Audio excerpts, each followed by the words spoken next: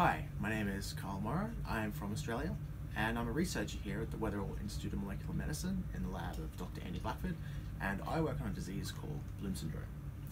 So Bloom syndrome is a very rare genetic disorder and it's caused by a malfunction in a protein called the Bloom helicase.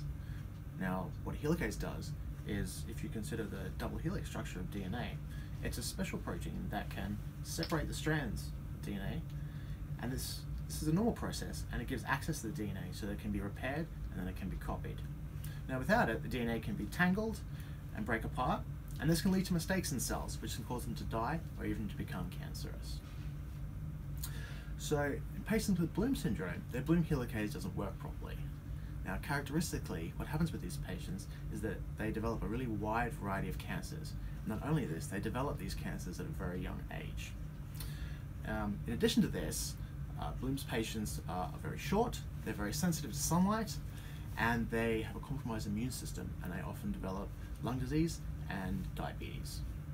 Now, in our lab, we're trying to figure out why a malfunction in this protein can lead to this variety of symptoms, and perhaps we can use that to figure out why it causes cancer, both in Bloom syndrome patients and in everyone else.